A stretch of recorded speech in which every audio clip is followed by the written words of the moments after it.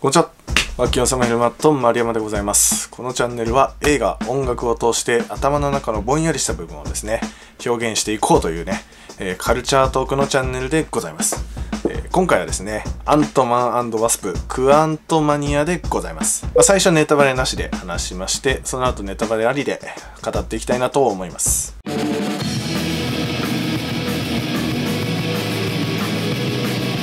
はい、今回、アントマン3作目ですね。MCU アベンジャーズでございます。はい。で、今回はですね、敵がカーンだと。はい。カーンがついに出てくるというところでですね、どうなるんだという感じだったんですけども、期待以上に面白かったです。はい。えー大満足な作品でございましたね。はい。えー、なんでしょう。まあ、アントマンはね、結構家族で戦うというか、えー作品を重ねるごとに、えーアントマンというか、あの、ちっちゃくなれる人が、どんどん増えていくと。はい。いう感じなんですけど、えー今回も増えますね。粒子世界に今回は行きますという話ですね。で、その粒子世界のね、世界観もね、結構面白くて、言っちゃうと宇宙っぽいんですけど、ミクロな世界をちょっと絶妙にチューニングしてるなと思いましたね。はい。っていうところで結構見たことない世界観な感じがして、すごく楽しい、ワクワクする作品でございました。意外とない隙間のフレッシュなところってのもあるし、あとカーンですね。カーンがすごくいいキャラクターしてましてね、これまでの、えー感じではない、落ち着いた振る舞いをするね、えー悪役として出てきますね。はい。このカーンの魅力がすごくある。カーンのために作られたような作品だなという感じですね。はい。はい。で、アントマンで言うとですね、結構大御所が出てくる。MCU の中でも大御所が結構出てくるなという。えー感じではあるんですね。まあ、1作目から出てるのは、えーマイケル・ダグラスがね、出てきますと。はい。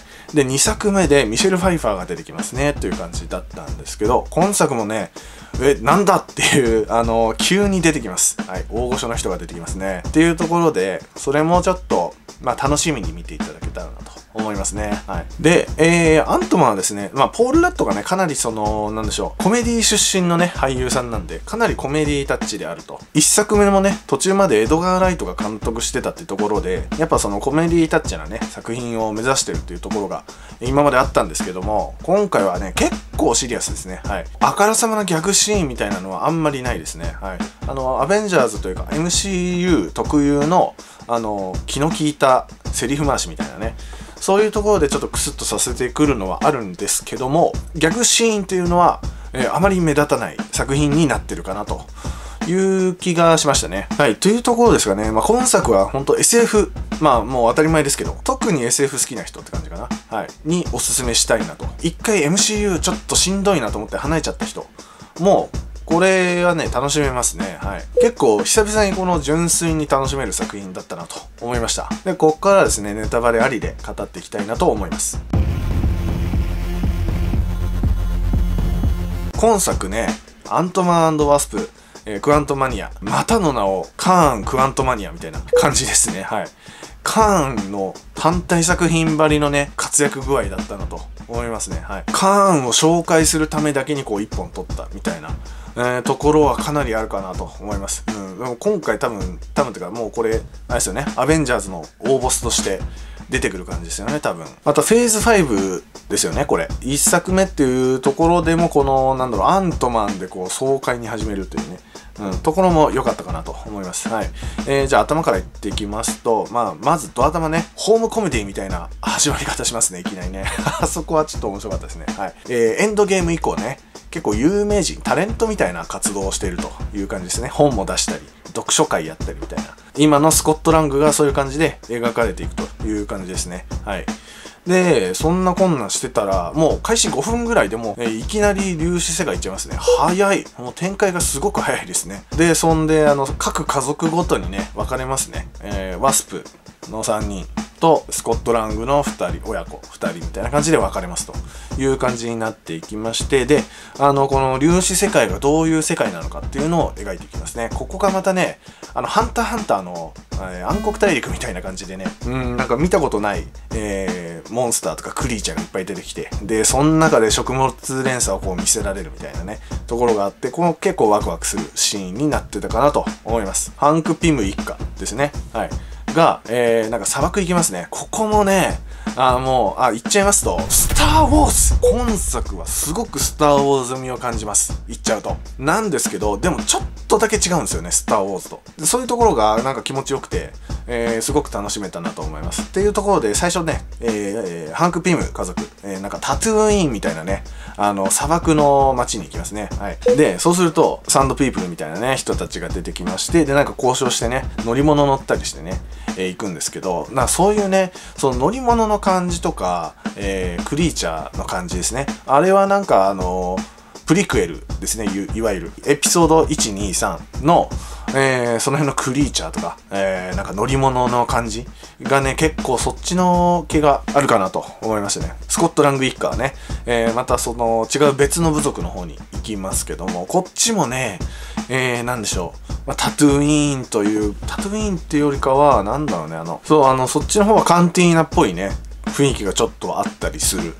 感じで、でもなんか、あの、この、ちょっと宴っぽいところは、エピソード6の最後のエンドアの、あの、イオークちゃんたちと、なんか戯れてるシーンっぽい感じもあるみたいなね。はい。っていうところで、またここもスター・ウォーズっぽくて、すごく楽しい。はい。でもちょっと違うんですよね。スター・ウォーズっぽい感じなんだけど、えー、ジェルっぽいやつが出てきたりとか、あの、エーペックスのパスファインダーみたいなね、えー、やつが出てきたり、あとは、その、なんでしょう。だったり、あの、鉱石、頭が鉱石みたいなね、やつが出てきたりして、えー、ちょっと違うデザインになってるんですよね。はい。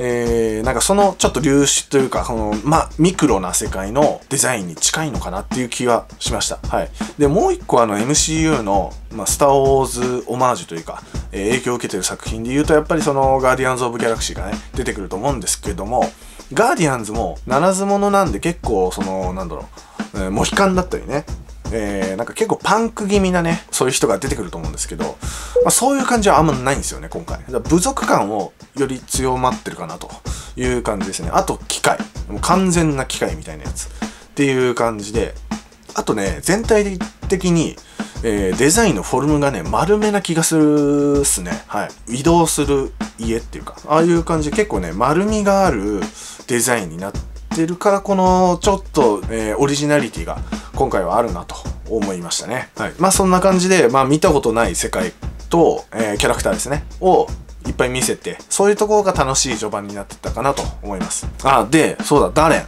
はい、ダレンがまた出てきましたね、ダレン。モードックだったんだっていうね。で、このカシャッと開いたらでけえ顔があるっていうね。これちょっとさすがに笑っちゃいましたね。笑っちゃうとかすごいじわじわ面白くなってきますね、あれ。ずっと出てると。その、ちょっとずるいな。あの、ダレンがかなりずるいキャラクターになってましたね。ハンク・ピムの奥さんね。はい。あの人が、えー、いろいろ独白をしていくシーンになってくんですけども、え、ここでね、カーンがどんなやつなんだというのが、ここで明かされていきますね。はい。まあ、こっからはもう完全にカーンの、えー、空気感、カーンの流れになってきますね、映画が。うん。この知的な感じがかなり怖いなと。思います。なんかあの、前のサノスは結構、なんだろう、明らかに悪そうみたいな感じでずっと出てましたけど、ポストクレジットとかね、ずっと不敵に笑ってるみたいな感じで、もう明らかに悪いじゃんみたいな感じで出てましたけど、今回は本当に一見いい人に見える。っていうところですよね。はい。もう切れたらもうむちゃくちゃ強えっていうね。これなんか、サノスよりやばそうな感じはすごく感じますね。はい。で、マルチバースを行き来できる船っていうね。また出てきたぞ、マルチバースと。はい。このマルチバース行き来できる船っていうところで、これ、なんだろう、次のアベンジャーズとかもう、ほん、なんだ、ドクター・ストレンジと同じかそれ以上ぐらいにもうめっちゃ行き来するんだろうなと思って、えー、結構ワクワクしましたね。と同時に、えー、大丈夫かな？ついていけるかな？っていう思った自分もいましたね。あとあのカーンの技ね、あの、ブラーンってあの衝撃波がすごい出るやつ。あれもなんか、あの、パルプンテみたいな感じがして、結構、バカっぽくてよかったですね。はい。マルチバースを行き来できる船ってところで、またこのね、あの、アメリカ・チャベスがね、この、どう活躍するんだろうなっていうね、もう明らかにアメリカ・チャベスいないときつくないっていう話になってきますよね、多分ね、これ。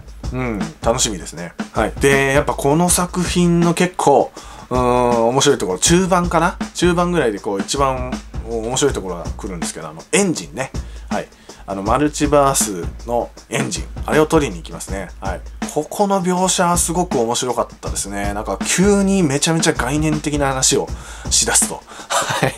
あそこのなんかわけわかんなさと情報量の多さがすごく気持ちよかったなと思います。はい。最後の方のあの、ブワーってこう上がってくじゃないですか、こう塔になってね。雲の糸じゃんみたいなね、感じがして結構面白かったっていうのもあるし、まあ家族で戦う作品なんで、その最後にワスプが来てね、こう一緒にこうちっちゃくするっていうね、ところもまあ、いいかなと思いましたね。もうクライマックスです。はい。クライマックスの話なんですけど、でも戦争になりますね。もう完全に。完全にもう反乱軍と帝国軍の戦いになっていきます。どう見てもスター・ウォーズにしか見えないんですけど、はい。えー、だし、あと、完全にブラスターね、トルーパーのブラスターと同じような SE の音がね、完全に聞こえたんですけど、あれはどうなんでしょうね。同じやつかな。うん、なんかそんな気もするんですけど、モードクを一回ぶっ倒しますよね、キャシーが。モードクがもう遅いって言うんですけど、やり直せるよ。まだ間に合うっていうね、えー、感じのやりとりがあるんですけど、そうだと。そうだったわと。アントマンってこう、もう、いつでも何度でもやり直せるっていうテーマがずっとあったなと思いましたね。で、スコットラングもね、うん、泥棒で何回も何回も捕まって離婚もしてるんですけど、えー、それでもやり直してヒーローになるっていうのを思い出して、えー、そうだ、この、そのテーマは、うん、今作でも引き継がれてるなという感じがしましたね。うん、最後のあの対戦ですね。あそこは面白いんですけど、まあ、結構ありがちというか、あの、もうダメだもうダメだって思ったら援軍が来るパターンのやつですね。はい。あれを2回ぐらい繰り返すっていう感じですね。で、そんでアリですよ。うん。アリが強えんだ、アリが。あの、ハンク・ピムの顔ね。あの、カーンを見る無言の顔がね。えー、まあ、マイケル・ダグラスだから、えー、説得力がすごくあってね、えー、良かったかなと思います。はい。エンドクレジット。もうすごくかっこよかったですね、今回。あの、なんだろう、反転。こう鏡でこう反転させてるみたいな。で、なんていうんですか、あの、ロールシャッハみたいな。油のアートみたいなやつですね。サイケな感じもあるんだけど、宇宙っぽくも見える。だけど、あの、色使いと、まあ、ドローとした感じで、もう、うまいことこの細胞のもっと内のミクロの感じをこう演出できてたなと思います。うん。すごくかっこよかったですね。もうポスクレもね、えー、カーンが出てくると。はい。で、カーンは帰ってくるって出ちゃう感じ。もう、いや、もう、カーンの単体映画やんっていう感じでしたね。あ、そう。一個だけ俺はね、残念だったのは、あの、マイケル・ペーニャが出てこないんですよね、今回。もうアントマンって言えばマイケル・ペーニャが毎回出てきて、あの、めっちゃ長いここに来るまでの過程を話してる、そういうシーンがあるんですけど、あのシーン見たかったっすね、また今回も。で、アントマン3で終わりでしょってことはもう出ないかもしれないっていうところでね、まあ、最後に一発見ときたかったなというのが一個残念だったところではあります。はい。えー、そんな感じでございます。次回はですね、えー、ブルージャイアント見てきましたんで、ブルージャイアントの動画になると思います。よければコメント、高評価、チャンネル登録お願いいたします。それではまたお願いします。